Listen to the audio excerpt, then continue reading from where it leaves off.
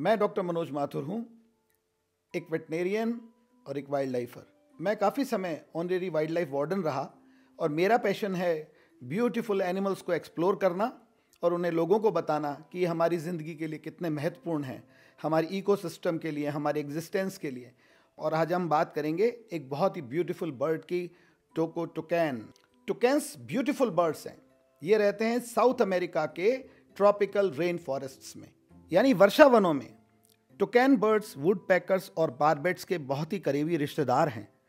टुकैन अपने लार्ज और beautiful, colourful bills या चोंच के लिए जाने जाते हैं और टुकैन की चोंच हॉलो होती है और बहुत बड़ी सी भी।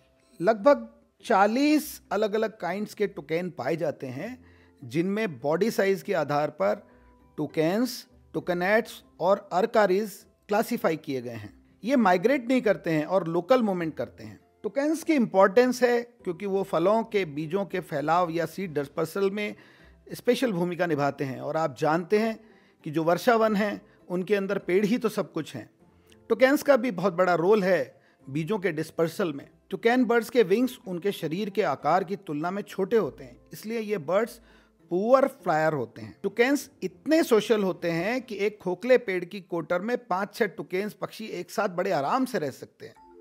इन पक्षियों को बहुत तेज आवाज़ या लाउड कॉल में बोलना या खराश वाली आवाज़ में चिल्लाना अच्छा लगता है। ये बहुत लाउडली कम्युनिकेट भी करते हैं। टुकेंस की आबादी चिंता का विषय है और ये निश्चित है कि उनकी आबादी तेज़ी से घट रही है, जो हमारे लिए बहुत अलार्मिंग कॉल है। रेन फॉरेस्ट में टुकेंस बहुत इंपॉर्टेंट बर्ड है। टुकेंस फैमिली में सबसे इंपॉर्टेंट है टोको टुकैन जो सबसे बड़ा बर्ड है और बहुत सारे खूबसूरत टुकेंस में से एक और बहुत ज़्यादा पॉपुलर टोको टुकैन को कॉमन टुकैन या जाइंट टुकैन के नाम से भी जाना जाता है। यह टुकैन परिवार की सबसे बड़ी और सबसे शायद प्रसिद्ध प्रजाति है। टोको टुकैन सबसे बड़ा और प्रभावशाली टुकैन ही नहीं, बल्कि ये ऑर्डर पिसीफॉर्म्स का सबसे बड़ा प्रतिनिधि बर्ड भी है। टोको टुकैन मध्य और पूर्वी दक्षिण अमेरिका के एक बड़े हिस्से में सेमी ओपन हैबिटेट्स या आवासों में पाया जाता है। ये toucans, Bolivia, Peru, Argentina, Paraguay और ब्राज़ील में पाए जाते हैं। टोको टुकैन नॉन फॉरेस्ट बर्ड्स हैं। ये मध्य और पूर्वी दक्षिणी अमेरिका के सेमी ओपन हैबिटेट्स की एक वाइड रेंज में पाए जा सकते हैं, जैसे कि वुडलैंड, सवाना और दूसरे ओपन हैबिटेट्स जिनमें स्कैटर ट्रीज पाए जाते हैं। सिराडो, प्लांटेशंस, फॉरेस्ट एज, यानी वन के किनारे और इवन वुडेड गार्डन्स में भी ये बड़ी आसानी से देखे जाते हैं। ये पंटानाल में भी पाए जाते हैं। मैं आपको बता दूँ, पेंटानाल वर्ल्ड का एक बहुत बड़ा फ़ेमस एरिया है। पंटानाल वर्ल्ड का लार्जेस्ट ट्रॉपिकल वेटलैंड एरिया और वर्ल्ड का लार्जेस्ट फ्लडेड ग्लासलैंड यानी दुनिया का सबसे बड़ा उष्ण कटिबंधीय आर्द्र भूमि क्षेत्र और बाढ़ वाले घास के मैदानों वाला एक प्राकृतिक क्षेत्र है। टोकोटोकेंस इतने खूबसूरत होते हैं कि ये पूरे वर्ल्ड की जूज में पाए जाते हैं और पेट्स के रूप में भी पाले जाते हैं। जो एक शायद गलत बात है। कैप्टिविटी में इनको आहार में फल आदि दिए जाते हैं। ये हीमोक्रोमेटोसिस, यानी कि आयरन ओवरलोड या आयरन स्टोरेज डिज़ीज़ के प्रति बहुत संवेदनशील हैं। इसलिए कैप्टिविटी में इनके आहार का मैनेजमेंट बहुत खास होना चाहिए। ग्रीक शब्द रोमफेस्टोस का मतलब है घुमावदार चोंच। टोको टोकेंस को उनकी घुमावदार चोंच की वजह से रेमफेस्टोस टोको के नाम से जाना जाता है। हालाँकि टोको टोकेंस की मोस्ट नोटिसेबल फीचर इसकी विशाल पीले नारंगी रंग की चोंच या बिल है, जिसमें एक ब्लैक टिप और एक बेस होता है। जिसकी लंबाई 16 से 23 सेंटीमीटर तक होती है। चोंच के निचले हिस्सों और कलमन पर गहरा लाल नारंगी रंग होता है। कलमन अपर मैंडिबल या ऊपरी जबड़े का डॉर्सल या पृष्ठीय रिज होता है। बिल या चोंच देखने में तो बहुत भारी लगती है। लेकिन दरअसल ये अंदर से बहुत खोखली होती है और हल्की भी बहुत होती है।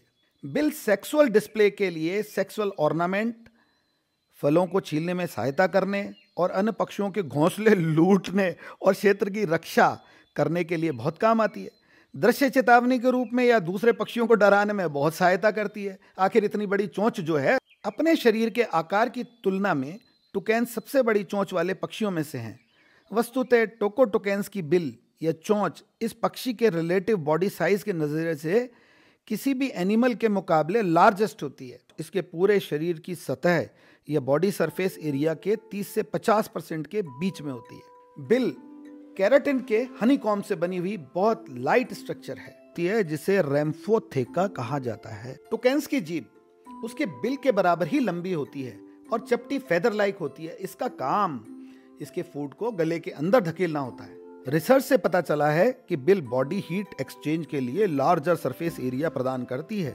बिल में सुपरफिशियल ब्लड वेसल्स का नेटवर्क होता है, जो ब्लड फ्लो को मॉडिफाई करने की गजब क्षमता रखता है और इसके लिए इनके शरीर में हीट डिस्ट्रीब्यूशन को रेगुलेट भी करता है।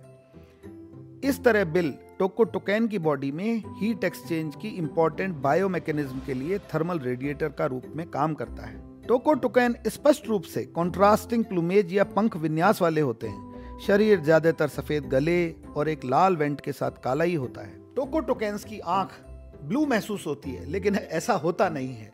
दरअसल उसकी आँख तो काली ही होती है, लेकिन उसके चारों तरफ़ एक ब्लू कलर की रिंग पाई जाती है और उसके बाहर एक ऑरेंज कलर की रिंग भी पाई जाती है। जुवेनाइल्स या कम उम्र पक्षी वयस्कों की तुलना में कम कलरफुल और शॉर्टर बिल्ड होते हैं। टुकेंस की साउंड्स और कॉल्स इतनी लाउड होती हैं कि उनकी चटर और फ्रॉग लाइक क्रॉकिंग कॉल्स यानी चटर पटर बकबक और मेंढक जैसी टेढ़ी मेढ़ी अजीब सी, तेज तर्रार आवाज़ें, जिसे अक्सर हर कुछ सेकंड में दोहराया जाता है, लगभग आधा मील की दूरी से भी सुनी जा सकती हैं। ऐसा लगता है कि उनके नॉइजी वोकलाइजेशन से कोमोफ्लॉज या छलावरण का उद्देश्य ही खत्म हो गया है। दिन के दौरान सक्रिय होते हैं, इसका मतलब है कि डायरनल होते हैं, रात में सोने या अन्य निष्क्रियता की अवधि होती है। टुकैन सर्वभक्षी, सर्वाहारी या ओमनीवोर्स हैं। एक ऐसा बर्ड है जो वेजिटेरियन और नॉन वेजिटेरियन दोनों तरह के खाने पर जीवित रहने और ऊर्जा और पोषक तत्व प्राप्त करने की क्षमता रखता है। ये मुख्य रूप से फल खाते हैं। टोकोटोकैन अपने बिल या चोंच का उपयोग करके पेड़ों से फलों को तोड़ते हैं। मौका आने पर berries nuts insects frogs small reptiles small birds और उनके अंडे और चूजों को भी खा लेते हैं। टोकोटोकैंस पेड़ों में आर्बोरियल लाइफ बिताते हैं। ये ज़्यादातर ऐसी जगहों पर रहते हैं जहाँ बहुत बड़े बड़े पेड़ होते हैं और ये इनका ज़्यादा समय पेड़ों में ही बीतता है। टोकैंस जुकौरी होते हैं। ये पक्षी अपने आहार के दौरान खाए गए फलों के बीजों को कई तरह से दूर दूर तक फैलाते हैं। टोकैंस अपने इकोसिस्टम में मोस्ट इंपॉर्टेंट सीड डिस्पेंसर्स हैं। ये बहुत ज़्यादा सामाजिक या सोशल बर्ड्स हैं। ये अपनी ही प्रजाति के अन्य पक्षियों के साथ बहुत ज़्यादा इंटरेक्ट करते हैं। सोशल बर्ड्स के इस व्यवहार के आधार में फीडिंग, बेटर मैनेजमेंट और सबसे बढ़कर शिकारियों से सुरक्षा शामिल है। टुकैंस माइग्रेंट बर्ड नहीं है। ये सीजनल मूवमेंट्स नहीं करते हैं और अपनी नेटिव होम रेंज में ही ऑल ईयर राउंड या साल भर रहते हैं। इसलिए इनको नॉन माइग्रेंट्स या रेजिडेंट बर्ड कहा जाता है। टोको टोकैंस का लाइव स्पान या जीवन काल 10 साल से लेकर 20 साल या उससे भी अधिक हो सकता है। उड़ान या फ़्लाइट के दौरान इनकी top speed 64 kilometre per hour तक हो सकती है। शरीर का वज़न या बॉडी वेट 500 से आठ सौ छिहत्तर ग्राम या बहुत ज़्यादा एक किलोग्राम तक भी हो सकता है। मेल टॉकी टुकेंस भारी होते हैं। इनका औसतन वज़न 723 ग्राम, जबकि मादा टोकीज नरों से छोटी होती हैं और हल्की, औसतन 576 ग्राम वज़न की होती हैं। लेकिन नर या मादा टॉकी टोकेंस प्लूमेज या शरीर की रचना के आधार पर एक से होते हैं। उनके साइज़ और वज़न के डिफरेंस के अलावा पक्षियों में और कोई फ़र्क नहीं पाया जाता है। इन बर्ड्स की लेंथ 55 से 70 centimetre wing span 80 to 100 centimetre पूंछ की लेंथ 14 टू 18 सेंटीमीटर होती है। आइए अब हम नर और मादा टोकेंस के मेटिंग बिहेवियर के बारे में कुछ जानकारी प्राप्त करते हैं। ये मोनोगेमस रिलेशनशिप को फॉलो करते हैं। यानी एक बार में एक नर एक मादा के साथ ही रहता है और मीटिंग करता है। नेस्टिंग या घोंसला बनाना सीजनल होता है, लेकिन बनाने का टाइमिंग अलग अलग क्षेत्रों में डिफरेंट हो सकता है। नेस्ट या घोंसला टिपिकली पेड़ों की ऊँची जगहों पर बनाए जाते हैं। उनमें एक विशेष कैविटी या चैम्बर जैसा हिस्सा बनाया जाता है, जिसमें पेरेंट बर्ड ही जा सकते हैं। तो कैंस की नेस्टिंग पेड़ों की कोटरों और टर्माइट नेस्ट में भी पाई जाती है। टोकी टुकैन बर्ड्स में रिप्रोडक्टिव मेच्योरिटी या यौन परिपक्वता तीन से चार साल की एज में आती है।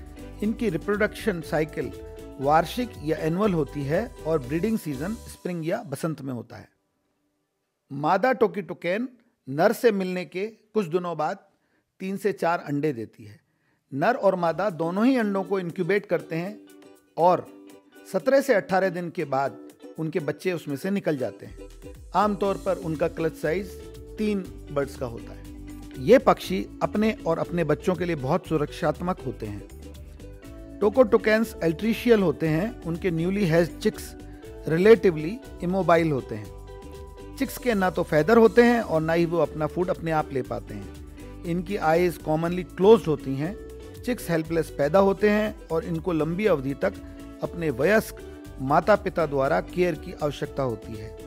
करीब 43 टू 52 डेज़ के बीच ये चिक्स अपने माता पिता की सघन केयर में रहते हैं। प्यारे दोस्तों नेचर ने इस प्लेनेट पे न केवल हमको बनाया, बल्कि काउंटलेस एनिमल्स को भी बनाया, जो कि अगर हम उनको एक्सप्लोर करते हैं तो हम ये जान पाते हैं कि वो कितने स्पेशल हैं। हमने आज टोकी टोकेंस के बारे में जाना और ये भी जाना, ये कितना स्पेशल और खूबसूरत बर्ड है। यकीन मानिए, अगर ये धरती पर बने रहेंगे तो हमारी भी एग्जिस्टेंस बनी रहेगी। मेरे चैनल को सब्सक्राइब और कमेंट करें कि आप क्या जानना चाहते हैं। भविष्य में भी मैं आपको बहुत ही इंटरेस्टिंग और बहुत खूबसूरत एनिमल्स के बारे में बताता रहूँगा। तब तक के लिए गुड बाय और नमस्ते।